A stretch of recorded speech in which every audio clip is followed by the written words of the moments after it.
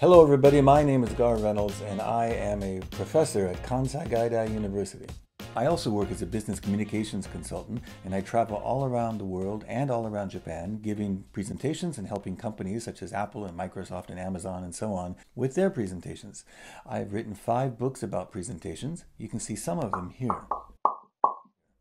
Before I joined Kansai Gaidai in 2003, I worked for Apple in Silicon Valley. Before that, I worked for Sumitomo Electric Industries in Osaka. Being a father of two children, one dog and one cat, and two birds means I'm pretty busy most of the time. I love hiking and rugby and American football and playing music. I'm a drummer, but I can also play piano and bass and guitar a little bit. All right, so let's jam sometime. Bye. See, I climbed tall, tall mountain. I met an old, old man beneath the willow tree. He said, Now, if you got some.